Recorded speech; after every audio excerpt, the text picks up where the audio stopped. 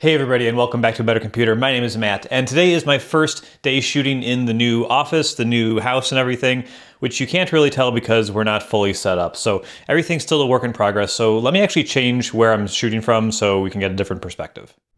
Okay, so in a new space now. Uh, as you can see behind me, I have a lot of work to do and I guess it's convenient then that I'm talking about an app that is supposed to help me focus on the important things and make sure I get those things done every day. So, uh, today we're talking about an app called Bento. Bento is a new app from Keep Productive. I think it's the first app that they've put together as a team. Uh, Keep Productive is mostly a YouTube channel, uh, and I, they were a big inspiration for this channel when I started and everything. They still are, they still do really great work. Um, but yeah, I wanted to talk about it because it's an interesting looking app. It's a really beautiful app. And yeah, it's built around the Bento method, which we'll talk about in a second, but it's not meant to be a replacement for things or Todoist or anything like that. Uh, it's kind of doing a different thing, and the sun is really coming out right now, so I'm going to switch to the screen share so I don't burn your retinas. Okay, so before we even jump into the app, I wanted to give a little feedback on the icon. I think the icon has incredible art. It looks beautiful, and it's just a shame that it's shrunk down and put in the middle of the icon like Safari and all these other apps where it's just on a white square. I don't like that at all in those apps, and I really think it's a shame here because, again, the artwork is so beautiful. It could look so great. I just wish they'd make it a little bigger, have it take up the full icon. Here's a very rough mock-up of what it would look like, but I think it would look a lot better if they just made it the full app icon as the bento box. That's it for now. That's just a critique, but let's jump into the app. So it's going to walk you through the setup process, kind of explaining what the bento method is. Uh, a thank you from the team who built it. Uh, and then you can kind of walk through some explainers on what this method is. You can pause and kind of just see what each of these say as you go, but let's get started. And this is the screen you're going to see when you're using Bento uh, most of the time. So you can see I'm doing back to work. That's my theme for the day. Uh, and you can see I've got three things. So the Bento method has three things that you're going to do, a small thing, a medium thing, and a large thing. And those are things you absolutely will get done today, you've decided. Uh, and so the three things for me were after a week off of work, catch up on Slack, catch up on email, and test my release tickets.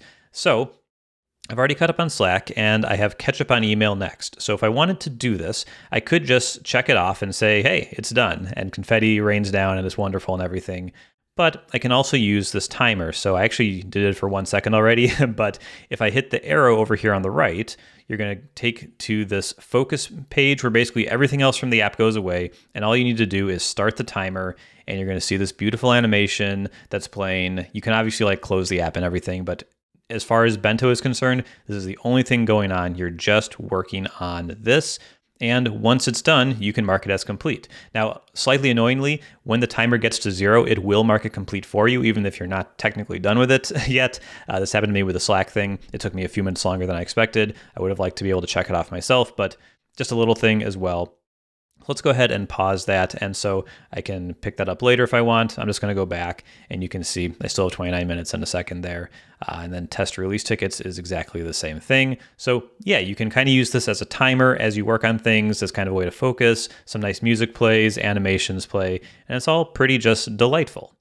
So if we go into the settings, there's a few things you can do here. There are some themes first. Uh, so you can see there's a dark mode. I can switch it to light mode. This is actually what I prefer. Uh, just looks a little nicer. Uh, but if you don't want this, you can switch to kind of this garden, Zen garden thing, or this water one if we switch here. There you go. Uh, that looks pretty nice. And then you can go to nighttime as well. And again, these look incredibly beautiful. It's really, really great art, uh, basically through and through. I personally like light mode and this one, uh, but your taste will vary. So there's also options for haptics. You can turn them on or off. The app just does some haptic stuff, which I think is really, really nice, but you can turn it off. And audio, so there's some music that plays and some just sound effects, and you can turn those off if you'd like. I think they're pretty delightful, so I keep them on. Um, but yeah, that's really it for settings. And how do you actually make this work? Well, first off, you should read some of the liter literature if you're not already like just immediately on board with the system. So there's this book icon in the top left. Hit that, and there's links basically to three Medium posts where they explain uh, different parts of the method. So you can check those out if you'd like. And if you want to create a new bento, you can actually go back and see a history of ones you've done previously. That's as far as I go. Um, and if you want to create a new one, you just swipe over and you can create a new bento or use a template. So if I create a new bento, you can choose a workflow, and the workflow is what order you want to do things. And so you can basically choose when the method is going to expect you to do a small thing, a medium thing, and a large thing. You can choose what order. So Eat the Frog is starting with the large thing, doing the medium, then the small thing. So that's for if you're like a morning person and you feel really productive in the morning, but not so much in the afternoon, do the big thing in the morning, do the medium thing, and then do the small thing after lunch, right? That sort of thing.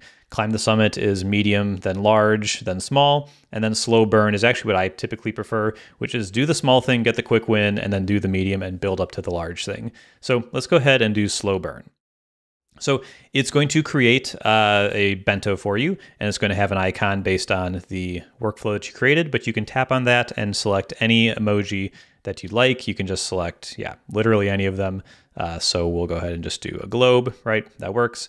And then you can name it. Uh, so you can name it anything up to this many characters. It does stop you, uh, but if you can think of something, um, I was actually doing back to work day. I can't actually do anything more than that. So there's not enough characters uh, for this. But anyway, you can just leave it as, uh, we'll do this as test.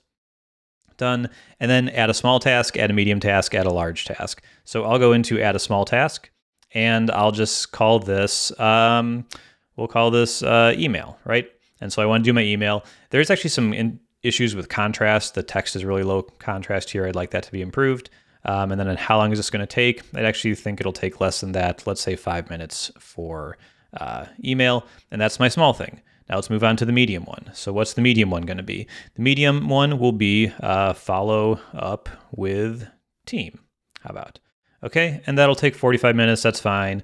And what's the large thing in my bento? Uh, we'll do uh, just uh, I don't know, make video will be the big thing, and that'll take uh, that's gonna actually take actually take a little longer. You can go up to two hours for an item, and so we'll just do two hours for that. So there we go, those are created, and there we are. So I have email, follow up with the team, and make video, and so I can again just mark it as complete if I'd like.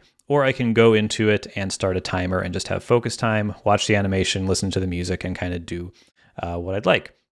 So in general, I think this is pretty nice. I think that it's definitely not the app for everyone.